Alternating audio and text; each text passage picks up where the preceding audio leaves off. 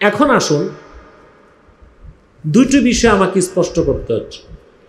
একটি হচ্ছে, ইসলামী রাজনীতি দরকার কি, আর ইসলামী রাষ্ট্র ব্যবস্থার প্রয়োজন কি? দেখুন, ভালো করে বুঝুন। আমাদের দেশে অধিকাংশ পীর মাসায় এরা বলে থাকে যে, বড় করে ব্যানারে লিখে রাখে, অরাজনৈতিক দরবার শরীফ। অরাজনৈতিক সংগঠন। আবার বড় গলায় বলে, বুঝলেন? যা আমাদের সাথে রাজনীতির কোনো সম্পর্ক নাই। আচ্ছা কোনো মানুষের পক্ষে রাজনীতির বাইরে থাকা সম্ভব? অ্যারিস্টটল তার বই দ্য পলিটিক্সে লিখেছে, অ্যারিস্টটল, যে দুই ধরনের লোক রাজনীতি থেকে দুইটা জাত দূরে থাকতে পারে, একটা দেবতা আর একটা পশু। একটা দেবতা আর একটা তো অ্যারিস্টটলের কথাকে নকল করতেছি আমি ভিন্নভাবে, কারণ আমরা তো দেবদেবী বিশ্বাস করি না। রাজনীতি থেকে দূরে থাকবে দুইটা জাতি, ফেরেশতা আর পশু পাখি। ফেরেশতা, এখন যেসব পীরেরা বলতেছে রাজনীতির সাথে আমাদের সম্পর্ক নাই, তারা কি ফেরেশতা না পশু পাখি? মানুষের পক্ষে রাজনীতি থেকে দূরে থাকা সম্ভব বরং এরা এই কথার মাধ্যমে তাগুতি শক্তিকে প্রমোট করছে। এই কথার মাধ্যমে তারা তাগুতীয় কুফুরি শক্তিকে পৃষ্ঠপোষকতা দিচ্ছে। যে আমরা খেলাফত চাই না, এমারাতে ইসলামিয়া, ইসলামী রাষ্ট্র ব্যবস্থা চাই না, ইসলামী হুকুমত চাই না। আমরা আমাদের পিরি মুরিদি নিয়ে আছি, আমরা আমাদের মৌলবিগিরি নিয়ে আছি, আমরা আমাদের সংস্থা সংগঠন নিয়ে আছি দেশ কীভাবে চলবে, রাষ্ট্র কীভাবে চলবে, আইন কি হবে, কানুন কি হবে, এগুলো আপনারা দেখবেন।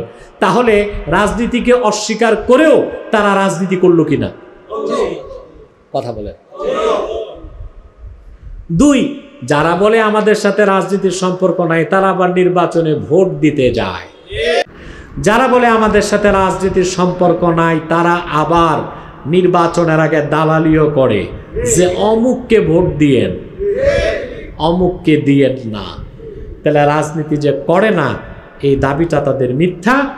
বাতাস থেকে মানুষ যেভাবে দূরে থাকতে পারে না, মাছ যেভাবে পানি থেকে দূরে থাকতে পারে না, মানুষ কোনোভাবে রাজনীতি থেকে দূরে থাকতে পারে না।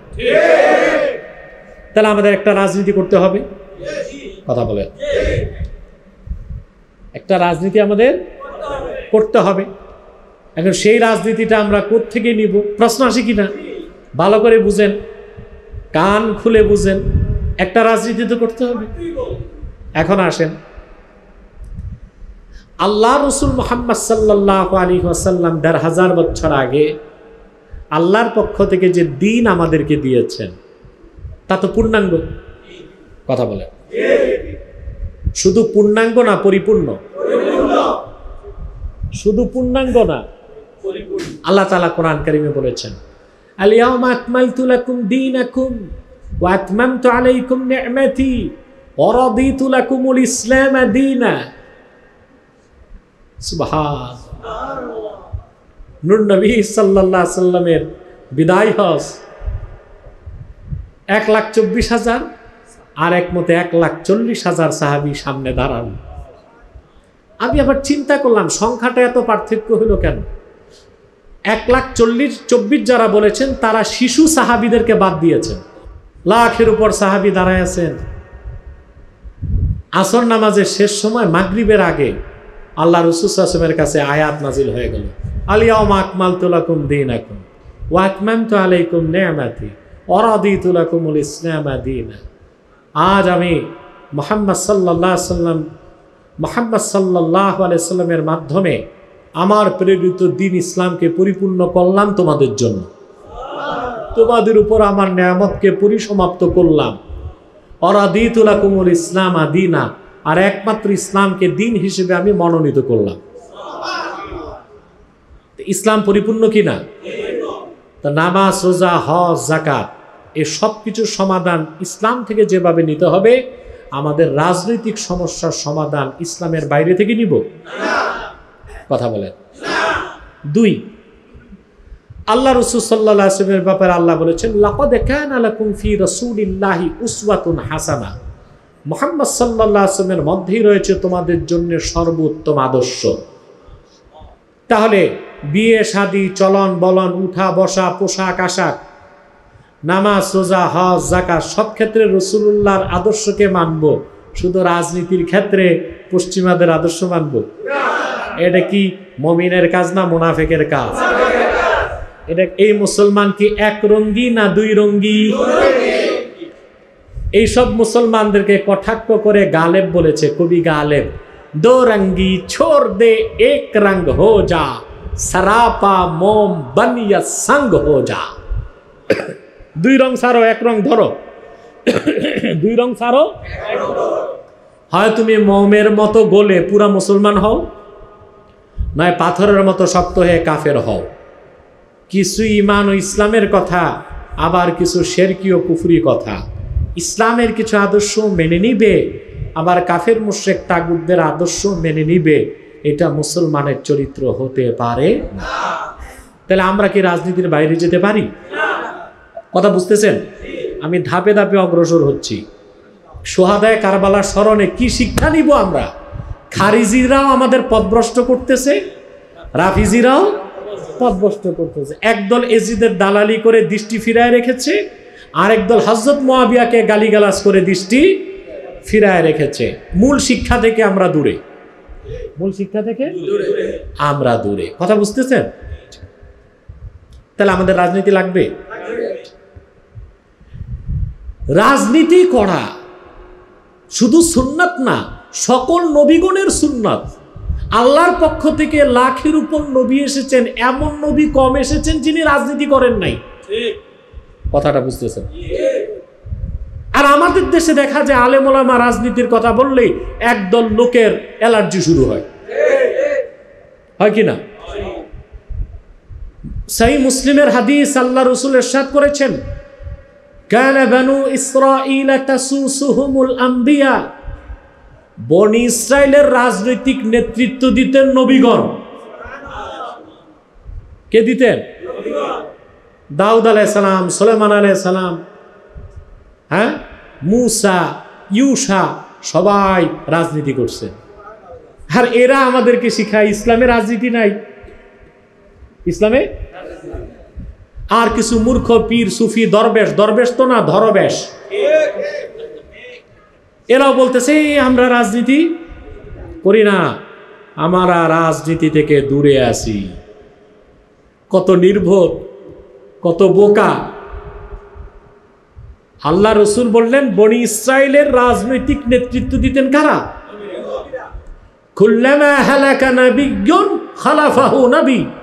একজন নবী এন্তেকাল করলে আরেকজন নবী তার স্থলাভিষিক্ত হতেন। তবে আমি মোহাম্মদ সাল্লাহ আলী হোসাল্লাম আল্লাহ সর্বশ্রেষ্ঠ, সর্বশেষ নবী ও রাসুল, আমাকে প্রেরণ করে আল্লাহ ইসলামকে পরিপূর্ণ করে দিয়েছেন। আমার পরে কেয়ামত পর্যন্ত কোনো প্রকার ই নবী কিংবা রাসুল নাই, আসবে না। তবে আমার উম্মতের মধ্যে প্রচুর খলিফা হবে।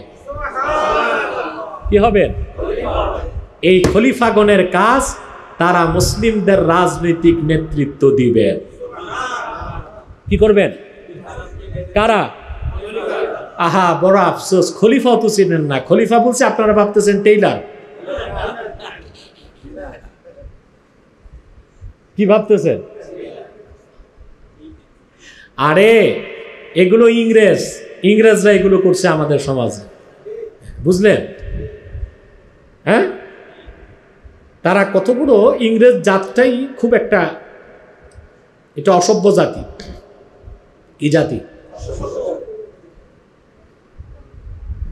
তারা এই খালিফা হচ্ছে মুসলিম স্টেটের চিফ এক্সিকিউটিভ প্রধান নির্বাহী, মুসলিম স্টেটের।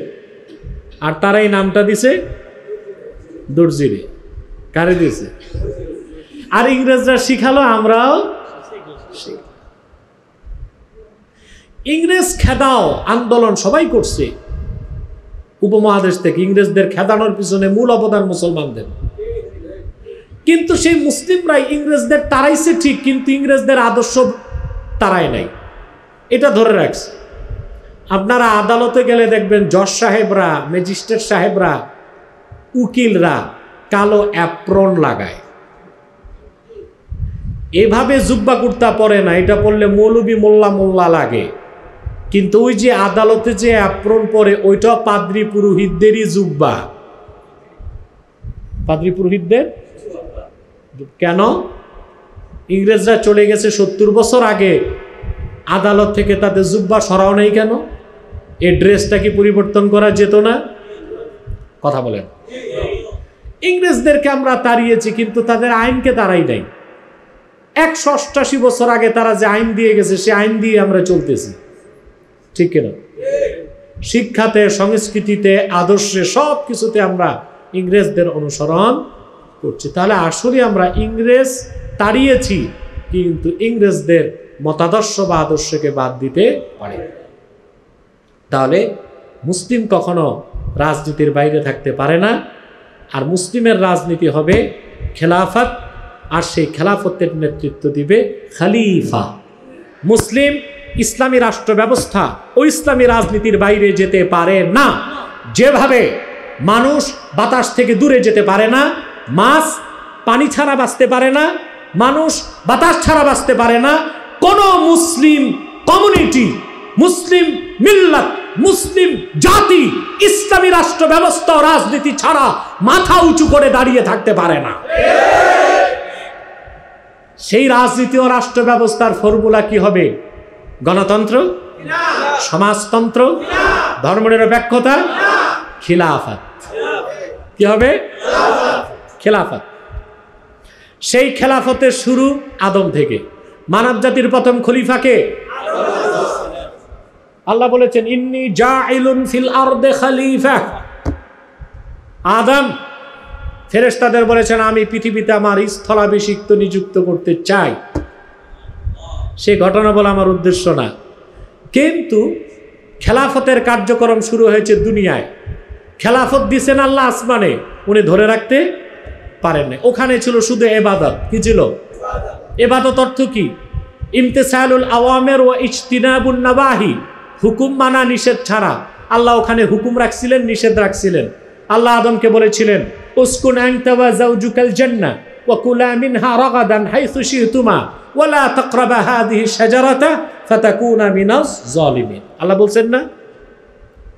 আদম, তুমি আর তোমার বউ ব্যস্তে বসবাস করো। আনন্দে যা খুশি তা খাও, এটা হুকুম। আর ওই গাছটার কাছেও এটা নিষেধ। এটা কি? এটা এবাদত শুরু। এবাদত তারপর এই যে এবাদত, এটা আমানতের অন্তর্ভুক্ত। খেলাফতটাও আমানতের অন্তর্ভুক্ত, কারণ আমরা সব মুফাসিরদের কল দেখছি। ফারায়েস, তাহাত, সালাত, হুকুম, বিধান, ঠিক না তাহলে এবাদতকেও আমানত বলা হবে, খেলাফতকেও আমানত বলা হবে। আদম আলাইসাল্লাম খেলাফত ধরে রাখতে পারলেন না, আসর টু মাগরিব। অসসা দিছে কে? তারপর আল্লাহ তাকে ব্যস্ত থেকে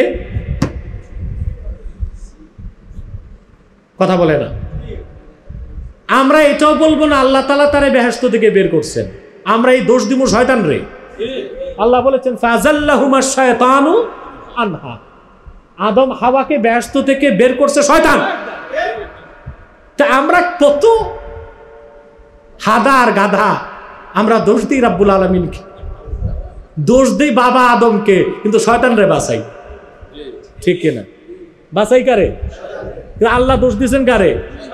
বের করছে কে? শয়তান। ঠিক কিনা?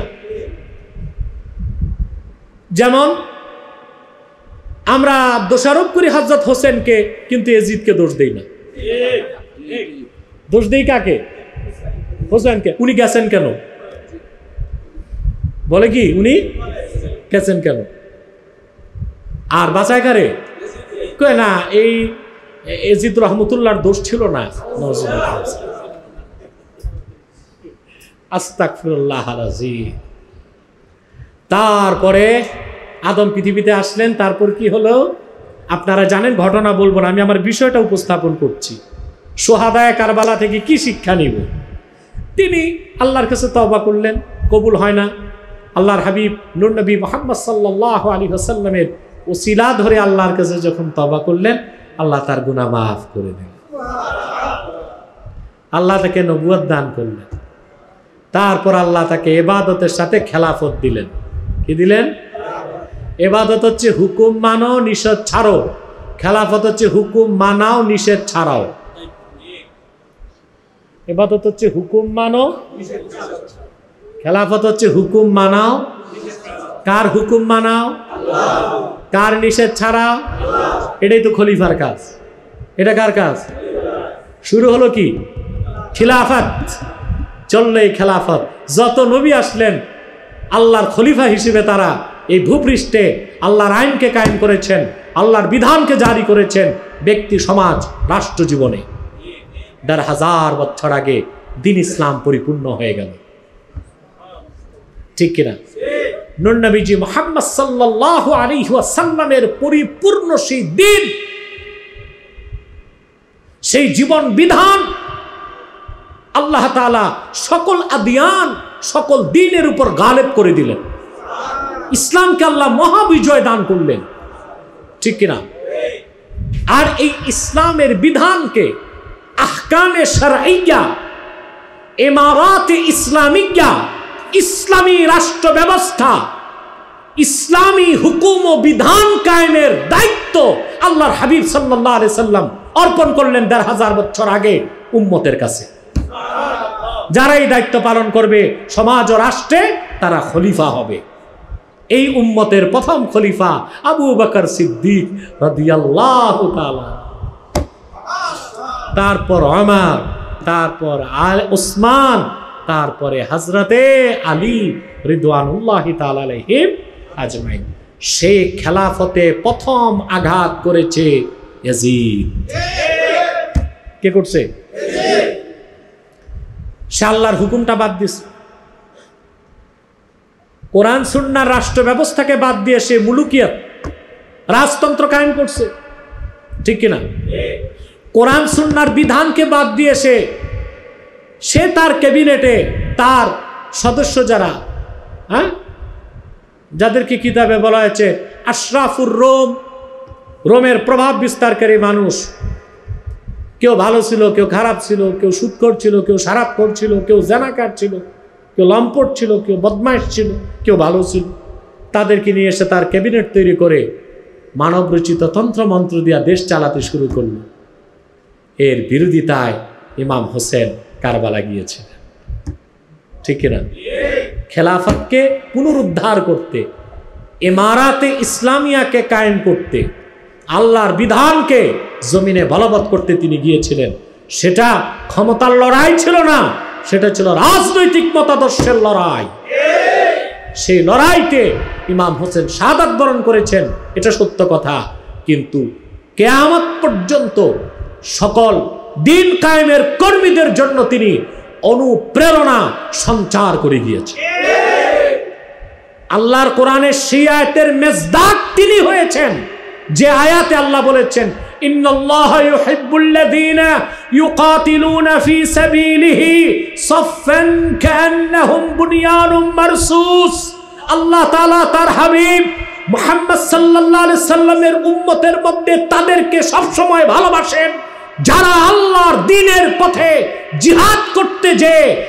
কেতাল করতে যে যুদ্ধের ময়দানে সীসা গালা প্রাচীরের মতো দাঁড়ায় যায়।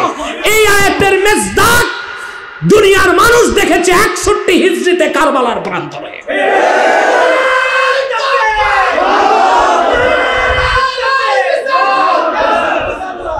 কুখ্যাত ইয়াজিদের কুখ্যাত ইয়াজিদের পাঠানো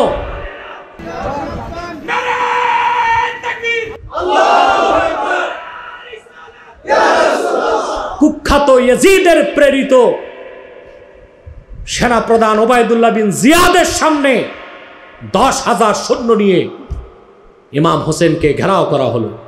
ওনার সাথে সত্তরের অধিক সৈন্য। তিনি সীসাগালা প্রাচীরের মতোই দাঁড়ায় গেলেন। বারবার প্রস্তাব এসেছে, ফিরে যান মাদিনাতুল মুনাওয়ারায়। তিনি বলেছেন, না, হোসেন এসেছে শাহাদাতের তামান্না নিয়ে সত্যকে প্রতিষ্ঠা করতে। একের পর এক তিনি জীবন দিলেন। আহলে বায়তের সদস্যরা জীবন দিলেন। পরিশেষে ইমাম হোসেন শাহাদাতের নজরানা পেশ করলেন।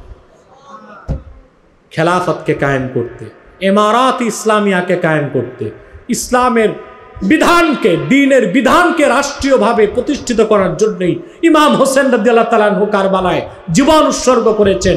এটাই হোসেন প্রেমিকদের শিক্ষা নিতে হবে আজ। সুহাদায় কারবালার মহান শহীদদের থেকে এটাই শিক্ষা নিতে হবে। আমরাও যারা সত্যিকার অর্থে ইমাম হোসেনের প্রেমিক এবং অনুসারী দাবিদা উম্মতে মোহাম্মদী, আমাদের জীবনের প্রত্যয়, সাধনা, সংগ্রাম হবে এটাই। আমরাও জমিনে ইমারত ইসলামিয়া, আহকামে শরঈয়া, খেলাফত ভিত্তিক রাষ্ট্র কায়েম করতে চাই। আল্লাহ যেন তৌফিক দান করেন। আল্লাহ যেন আমাদেরকে কবুল করেন বলে আল্লাহ।